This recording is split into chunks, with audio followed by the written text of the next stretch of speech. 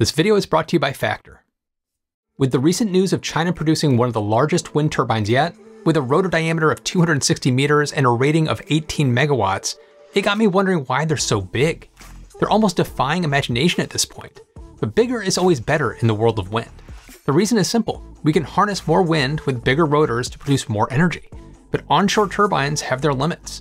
To meet these challenges, engineers have been moving offshore. However, we only have so much coast to work with, and the most powerful winds are in the open ocean, where the water is much, much deeper. What if we could push the boundaries even further? The wind industry is currently doing just that, which is why floating wind turbines are suddenly so huge. By sending these skyscraper sized floating structures out to sea, we can take advantage of faster, more consistent wind.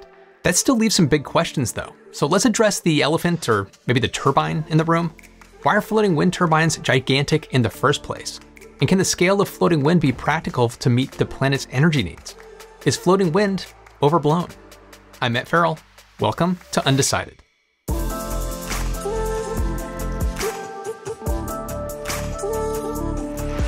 Despite how fantastical the concept of floating wind might seem, offshore wind turbines are going through quite the growth spurt.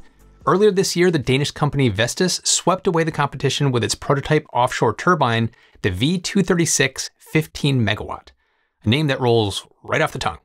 It's now the tallest turbine in the world. For comparison, here's the 300 meter or 984 foot tall Eiffel Tower, and here's the V236 turbine at 280 meters or 919 feet. These burgeoning advances come as the world grows big on big turbines, and the rationale for them all comes down to math. Before we describe how these behemoths can be buoyant, we have to establish how large these things actually are. And to help wrap your head around the size, We'll begin with the closest reference that we all have ourselves. The average human height across the globe is roughly 5 feet 5 inches, or about 1.7 meters. A one story building is about 4.3 meters tall. De Noord, a Dutch national monument, is the tallest traditional windmill in the world and a restaurant, and it stands 33.3 meters. Zoom out from grinding flour to generating power, and you'll see how turbines have advanced from landscape to landmark.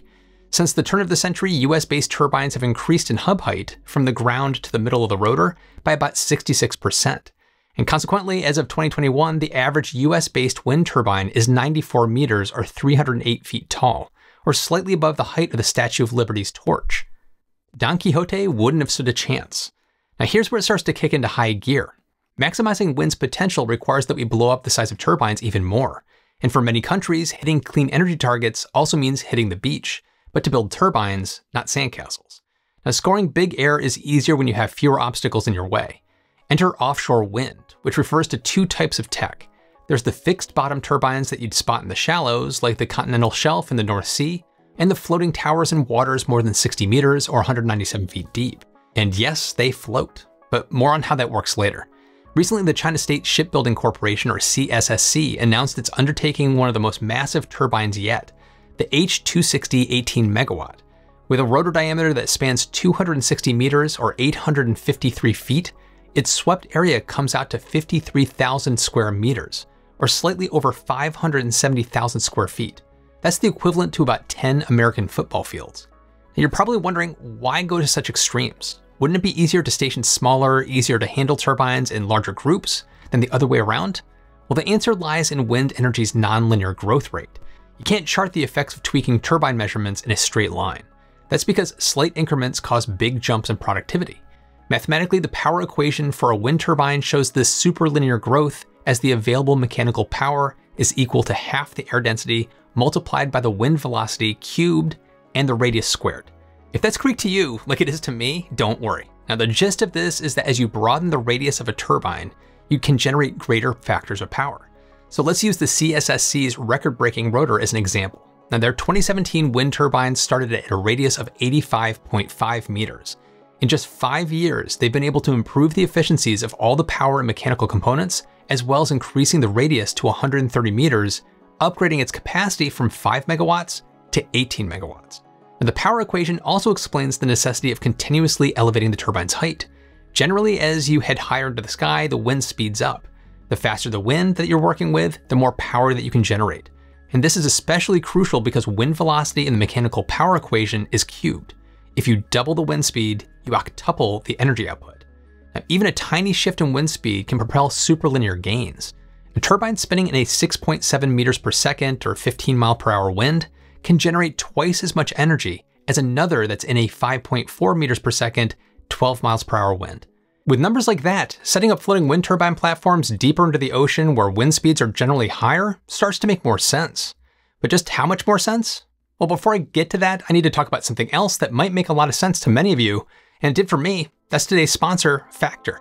Starting around last summer, I fell into a bad routine where I was working some crazy hours and wasn't finding the time to make myself healthy, well rounded meals.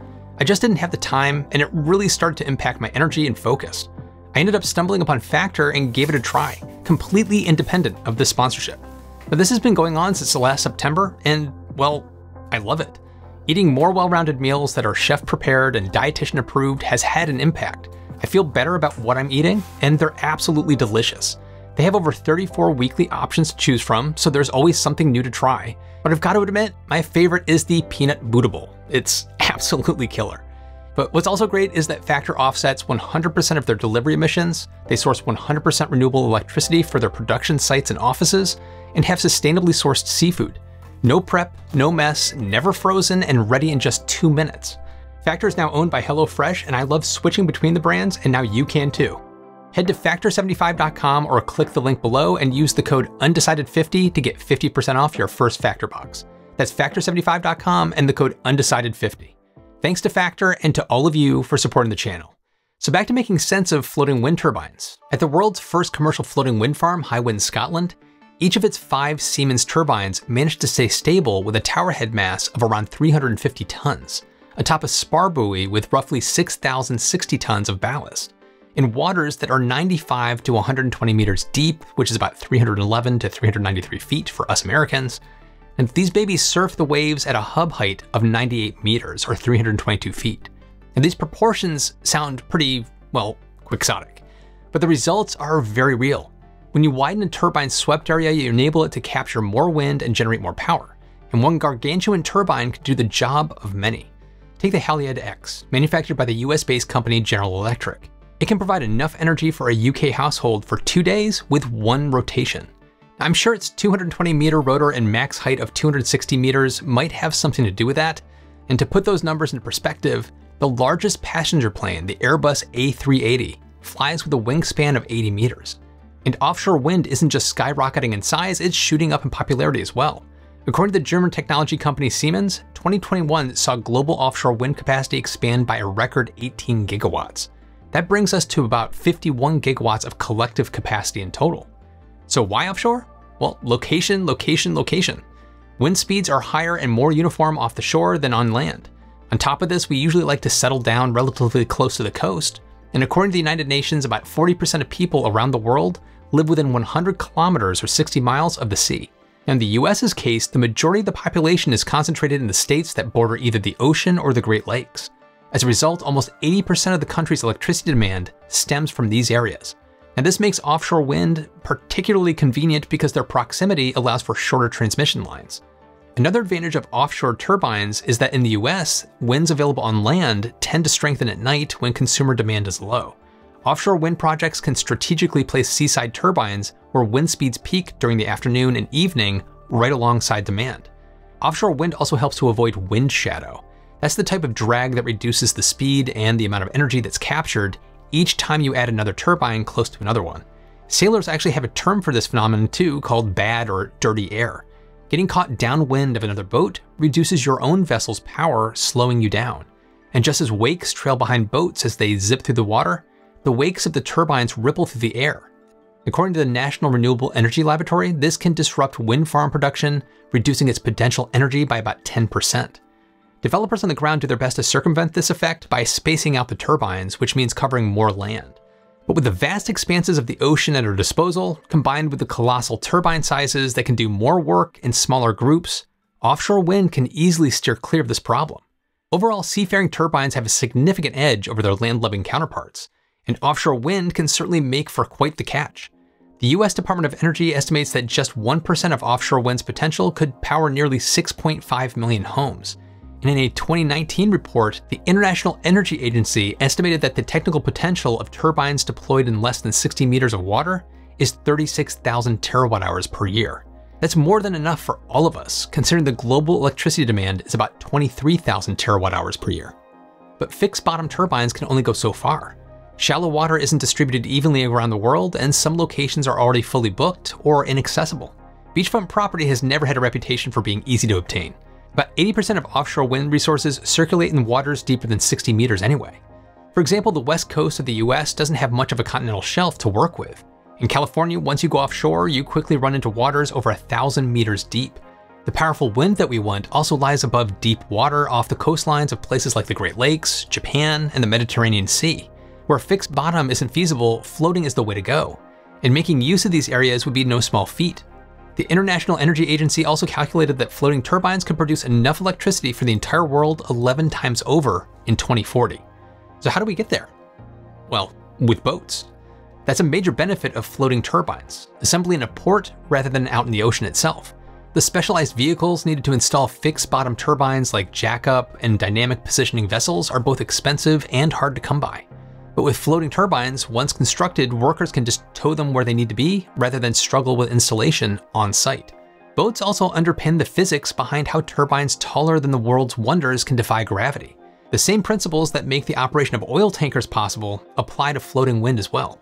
In fact, the oil and gas industry's nautical experience is exactly what floating turbines rely on. Some iterations of floating turbines stand atop spar buoys, just like the ones that have supported offshore drilling for decades. And that's why it's no surprise that the Norwegian petroleum company Equinor founded Hywind Scotland in 2017 using its own spar buoy designs. It wasn't exactly navigating unfamiliar waters. Whether the offshore wind industry can stay afloat is another question. Like with most emerging technologies, the cost of floating wind turbines is steep. The infrastructure needed to mass produce them doesn't exist yet, and most projects are only just now getting started. According to a September 2022 White House brief, globally only 0.1 gigawatt of floating offshore wind has been deployed to date, compared with over 50 gigawatts of fixed bottom offshore wind. Advocates for floating wind argue that industrialization is key to driving down the costs. For right now, though, floating wind turbines need about double the funding of fixed bottom ones. According to the National Renewable Energy Laboratory, expenses related to the turbines themselves are identical. It's the installation and increased amount of material needed for the foundations that jack up prices. The Department of Energy estimates that turbines without sea legs cost about $30 per megawatt hour, and fixed bottom wind turbines cost about $80. Meanwhile, floating wind hovers around $200 per megawatt hour. Plus, the monstrous submarine cables connected to the floating turbines aren't just far from land, they're far from cheap. As you can imagine, burying an electrical cable into the seafloor requires a boatload of insulation and meticulous engineering. I've actually touched on how astronomically expensive these networks of thick cords can get in a previous video about macro versus microgrids. Now with all that in mind, I guess you could say it's much harder for floating wind developers to keep from blowing the budget. The environmental impacts of floating turbines are another prominent concern. Oceanographers haven't yet established a concrete base of repercussions of all those concrete bases on marine ecology. We do know that offshore wind farms can act as artificial reefs that attract sea life, but whether this causes a negative ripple effect is unclear. Researchers from the US National Oceanographic and Atmospheric Administration do note that potential consequences include the introduction of noise pollution, electromagnetic fields that can disrupt the behavior of aquatic animals, and increased vessel traffic, which might mean increased vessel strikes. It's also difficult to determine how dangerous turbines are for birds in general, especially between species. The mystery won't last forever though. There are promising ways to mitigate those effects. But if one thing's for certain, it's that the theoretical possibilities offered by floating wind are nothing to blow off. The Vestas V236 15 megawatt is currently installed in the Østerild Test Center in western Jutland, Denmark. After it completes that phase, it's going to graduate to the Frederikshavn offshore wind farm in 2024.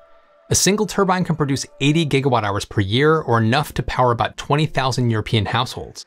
If just one of these turbines can power tens of thousands of homes, then what can we achieve by moving from handfuls to hundreds? So does floating offshore wind blow you away? Or has all this turbine talk left you feeling winded? Jump in the comments and let me know. Be sure to check out my follow-up podcast, Still to be Determined. We'll be discussing some of your feedback. And thanks to all my patrons who get ad-free versions of every video. And thanks to all of you for watching and commenting.